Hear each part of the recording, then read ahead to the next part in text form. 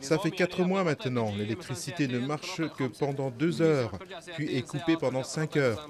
Ça fait maintenant près d'une semaine que nous n'avons pas d'électricité.